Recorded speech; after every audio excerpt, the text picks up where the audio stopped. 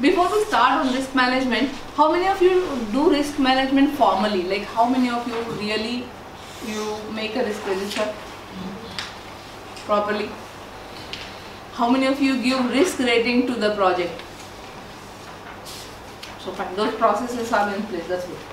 If you really don't have, I know you cannot change the organization easily, but it's a good idea to make that for yourself so that you are aware of where your attention should be. Okay, having said that, let's go to risk management. Uh, before we go to the processes, there are certain terms that I want you to know well or be clear about. How do we define risk? What is the risk? What do you mean by risk? It's a known uh, event, the probability of Any task, Unknown event. any task with the known uh, risk, uh, known hazards in there. which may hamper the project. uh, which may hamper the projects. Okay, something that might hamper the project, something that 10%. if triggers might hamper the project. Is it that? Uh, is it this that you're saying? Something if if it happens might impact the project. Okay, look, listen to my words carefully. Okay, not I am saying like don't hear them. Listen to them.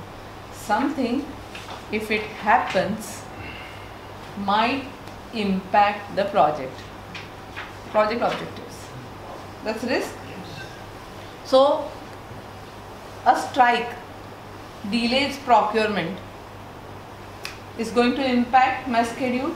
That's a risk my customer is giving me a bonus to finish the project early. Is it a risk? It is a risk. If has suddenly said like if has said that you you will get a bonus if you finish two weeks early. What was our definition? Something? If it happens so if i can finish the project two weeks earlier the impact is bonus. Yes. Did i say that the impact is negative? No. So pmi defines risks like impact to project by uncertain events. It can be positive impact it can be negative impact. Opportunities. So opportunities and threats both are risks. So positive risks are opportunities negative risks are threats you identify them in the same way and interact with them with the way that you choose so there are how many? Six processes, so we need to run through them. The first is plan risk management. You know this process well. Only thing is you will see a lot of inputs here. Because from all the areas you need to find out how you are going to deal with the risks. What are your choice reaction to risk? What do you usually do about certain risks? What is going to be your risk budget?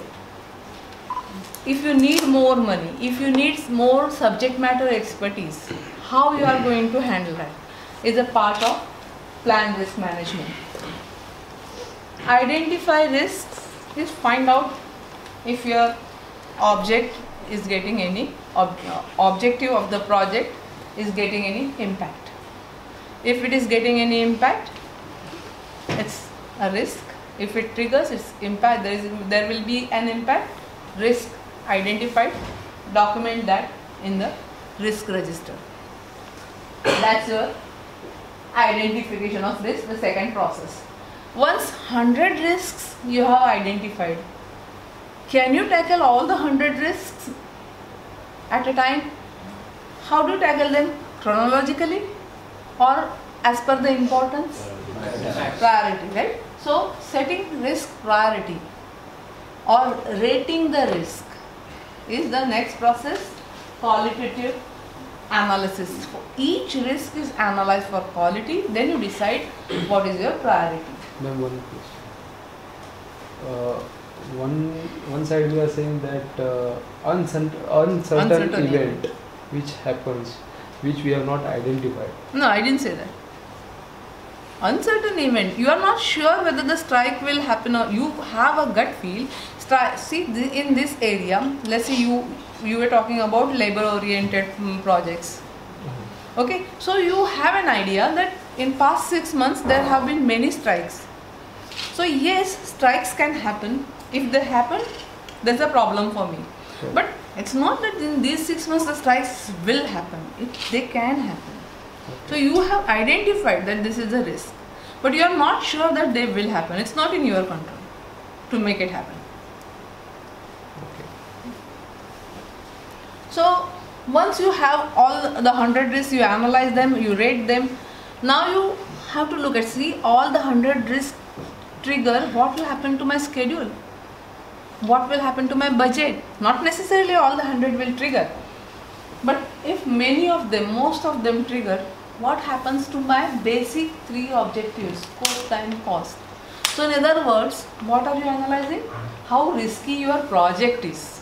There are 100 risks so how they impact your total project so that is the next process quantitative analysis you are quantifying the risk to cost the risk to time the risk to scope once you have that in place or parallelly actually it's not in sequence parallelly when you have identified risks you will start planning how, you will react to those risks, how you will manage those risks. Many times in this context, we use the term mitigate. Mitigate has a certain meaning here, that's why I'm trying to avoid it as far as possible. We'll uh, discuss that when we go to that plan res- uh, response strategies. Plan risk response. So, control risk is checking your 11.1 and 11.5 your risk management plan your risk response plan and checking if your actions are as per the plan or not.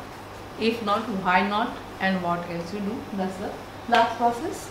Controlling risk